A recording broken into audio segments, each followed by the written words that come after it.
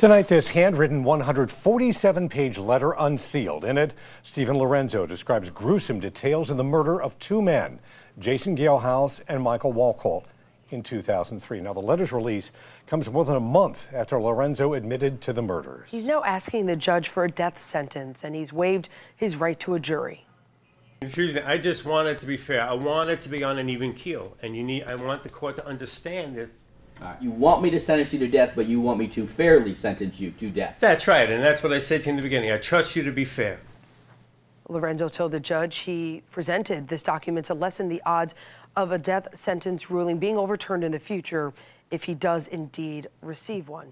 Friends and family of the men murdered by Lorenzo have waited two decades for justice. And tonight, 10 Tampa Bay Shannon Close spoke to the best friend of one of those men who hopes this is finally the closure they've been waiting for.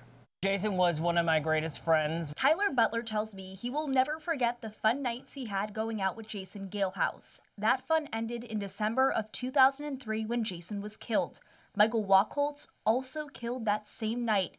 Investigators say the two men were drugged, raped, and murdered by Steven Lorenzo and Scott Schweickert. You're reliving everything and hearing uh, every time it's just gotten uh, even harder. Schweickert has been convicted of the murders, sentenced to 40 years in prison.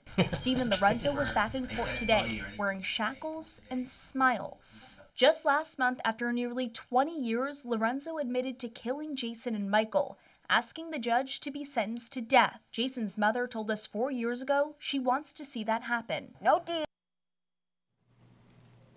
And Lorenzo is set to be sentenced on February 6th. State prosecutors expect that to take at least three days.